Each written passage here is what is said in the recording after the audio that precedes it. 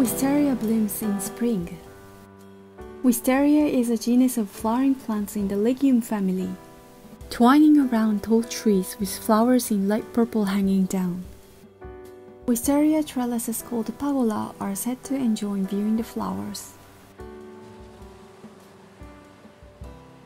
The 18th century Japanese painter Maruyama Okyo painted wisteria folding screens in 1776.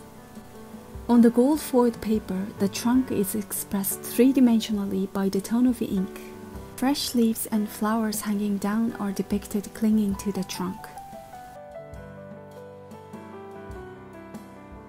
Okyo left album of sketches. He is known for painting pictures based on sketches. He observed the object very carefully, and only by doing so he believed that he would express the lively energy of plants and animals. Wisteria is also painted through the process of careful observation. Structure of petals are depicted precisely. Yet this painting is not just realistic. The trunk is deformed and it gives dynamism. The leaves and flowers that seems to be falling down from the sky stand out from the golden background. Utagawa Hiroshige created Kameido Tenjin Shrine in 1856 as part of the ukiyo-e series 100 Famous Views of Edo.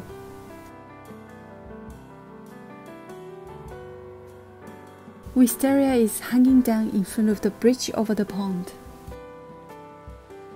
It looks as if the hanging flowers are within our reach.